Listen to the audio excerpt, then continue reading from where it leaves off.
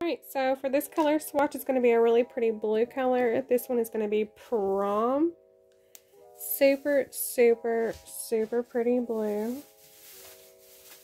I'm going to put a tad bit more epoxy in here because I do have a color swatch I want to do. I mean, um, a blank I want to do.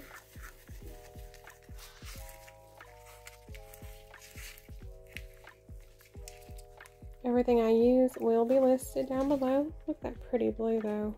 Look at that.